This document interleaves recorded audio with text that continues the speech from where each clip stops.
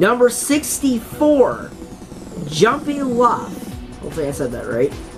From the US, ranked number 8 on the leaderboards for the original Spyro the Dragon. And let's pull that tab right now. 63 more flaming days, guys. Until the Spyro Reignited Trilogy comes out. Oh boy. Pace!